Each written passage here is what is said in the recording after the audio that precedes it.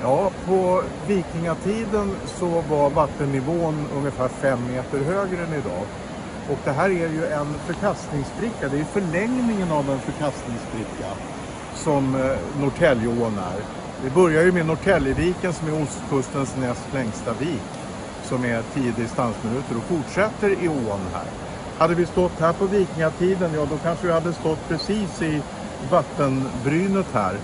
Vattennivån gick väl någonstans här uppåt eh, på den tiden och det här var ett sund. Och då var det väldigt smart eftersom det var en väl trafikerat sund det här.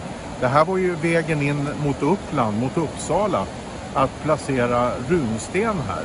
Man ville tala om eh, att här var man mäktig och så och då eh, placerade man ofta runstenar som ett slags reklamskyltar i, idag.